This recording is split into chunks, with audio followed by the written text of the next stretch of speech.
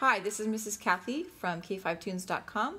We're going to be looking at the trumpet today. This is our second edition for the trumpet on K5 Tunes. We're going to be looking at how to produce our first note and also how to hold the entire instrument. Last time we looked at just the mouthpiece and how we put the mouthpiece into the mouthpiece channel. We want to make sure that we don't ever pop the mouthpiece into the channel. That actually can cause the mouthpiece to stick and hopefully your teacher has a mouthpiece puller or mouthpiece remover in case it ever does stick, but you don't want to have that complication because most of the time when your mouthpiece gets stuck to the rest of the trumpet, you can't close your case, and that's problematic to take your instrument home. So once we have our mouthpiece inside the channel, we want to hold our instrument like this. Left hand will be going thumb and first finger around the three tubes that hold the valves. So your thumb is here, your first finger is here, and then you can put either your third finger or your fourth finger, middle finger or ring finger on this little ring that's right here. Then your right hand, the pinky will go in this little um, bent part of the middle. Your thumb is right here, and one, two, three.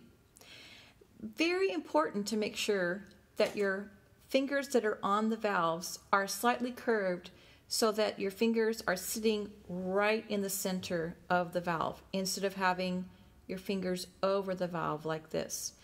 What happens if you constantly are playing the instrument like this is that the valves can actually bend slightly out. And so you want to aim your fingers like this.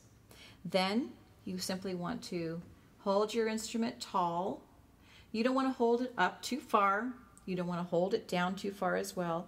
And you notice that my posture on the chair is tall and my arms are out a little bit. Instead of having my arms in and all squished, my arms are out slightly, not like a bird, but out just a little bit slightly.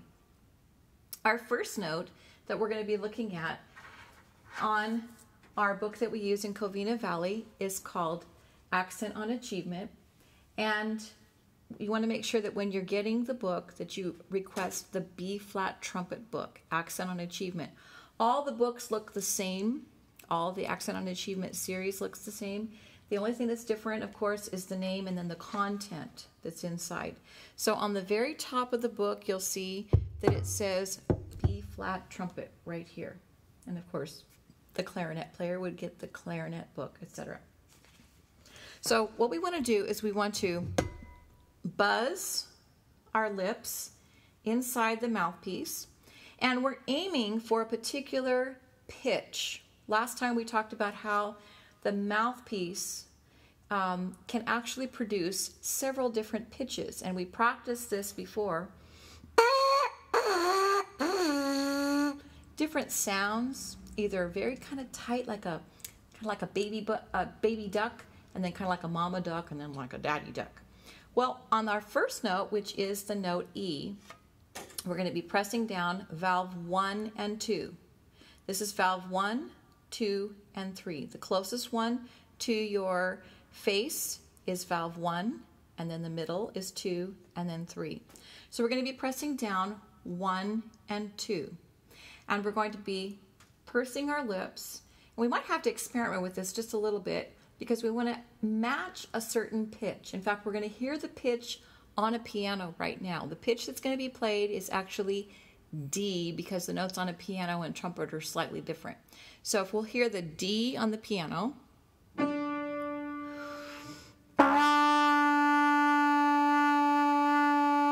Did you notice how that matched the pitch? I was playing valve one and two.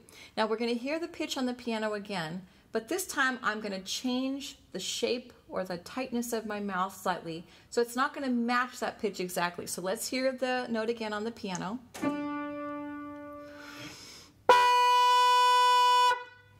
Did you notice that that wasn't the same pitch? It didn't match. So what we want to do is the sound that comes from my trumpet has to match that piano pitch exactly. So let's hear that pitch again.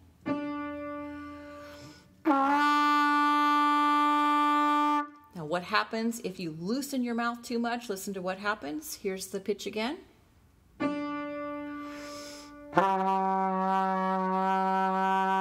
Not right. So I'm going to correct it this time. Let's play it again.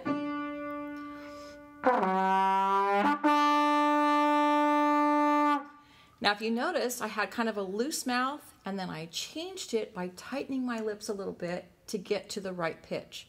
It would be wonderful if someone at home had either a keyboard or a piano, or you could even go online and look for uh, a site that would be able to give you the note D.